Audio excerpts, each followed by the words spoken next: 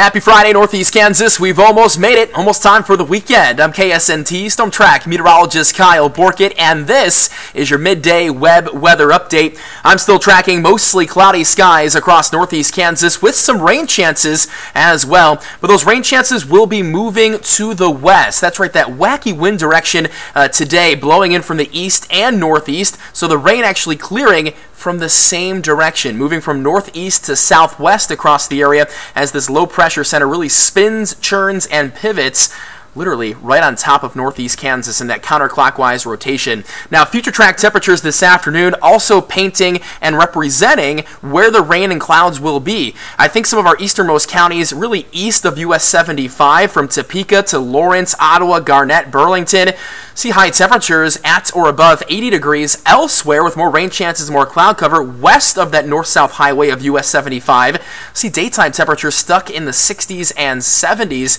Really uh, make your plans accordingly for the high school football games. If you're going to a football game west of US 75, grab the rain gear just in case. Good chances for rain still linger into the evening hours. But we clear things out and we dry things out just in time for the upcoming weekend. Storm Track Chief Meteorologist Matt Miller, he's live at 5 tonight. He'll have a splendid look at your upcoming weekend forecast complete with sunshine. I'll catch you guys Monday morning, dark and early at 4.30, but you can catch us actually all weekend in Topeka at the Kansas Expo Center for Cider Days. We're all there from KSNT News. Come on by and stop and say hi. If not, have a great weekend. Enjoy the nice weather.